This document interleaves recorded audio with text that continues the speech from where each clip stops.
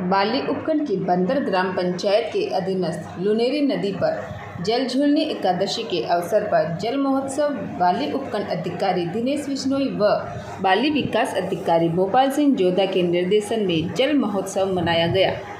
गौरतलब है कि क्षेत्र में अच्छी बारिश के चलते, अच्छे मानसून के चलते सभी तालाब, नदी ओवरफ्लो हो चुके हैं। वहीं नदियों में भी पानी की आवक बनी हुई है। बंदर में जल महोत्सव कार्यक्रम के दौरान ग्राम विकास अधिकारी मोहनलाल, सरपंच कपूराराम मेघवाल, उप सरपंच मुकेश दवे, एलडीसी अमृतलाल, आंगनवाड़ी अलकनंदा, आशा सहयोगिनी रुक्मणी देवी, आशा सहयोगिनी ममता त्रिवेदी, आंगनवाड़ी कार्यकर्ता भारती देवी, चंदा देवी, चंपालाल त्रिवेदी, प्रकाश दवे वार्ड पंच दिनेश घाची सहित बड़ी संख्या में माता बहनें मौजूद रही।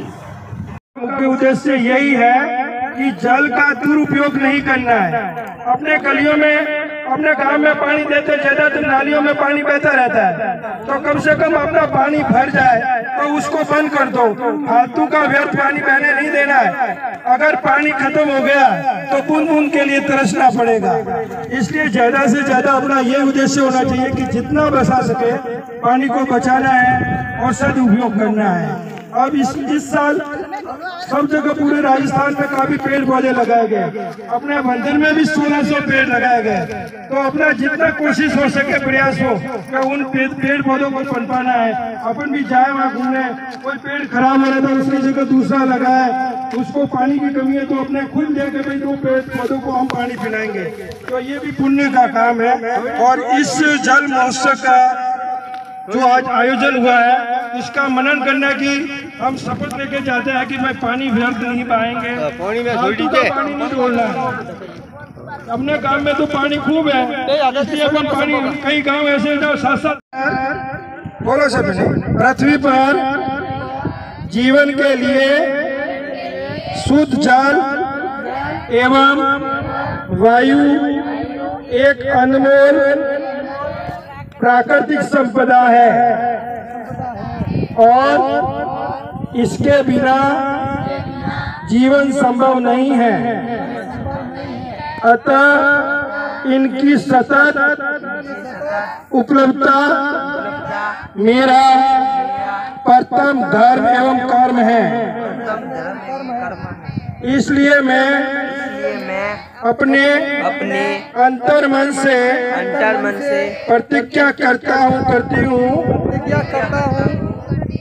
कि मैं स्वयं को अपने परिवार, जन सहवासियों सहित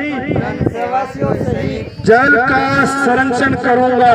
जल का संरक्षण करूँगा जल का विवेकपूर्ण उपयोग जल का विवेकपूर्ण उपयोग कराते हुए जल व्यर्थ नहीं करूँगा। वह इसके लिए सभी को प्रेरित करूँगा। प्रकृति द्वारा प्रदत्त शुद्ध जल एवं वायु को दूषित नहीं करूँगा। पर्यावरण को बचाने हेतु राज्य में इस वर्ष लगाए गए लगभग सात करोड़ पौधों को सुरक्षित रखने में मेरी दृष्टि में कोई पौधा अविकसित हो तो उसे तो उसे विकसित करने का विकसित करने का प्रयास करूँगा। प्रयास करूँगा। एवं एवं विकसित वृक्षों को विकसित वृक्षों पर नष्ट नहीं करूँगा। वंदे भारत माता की।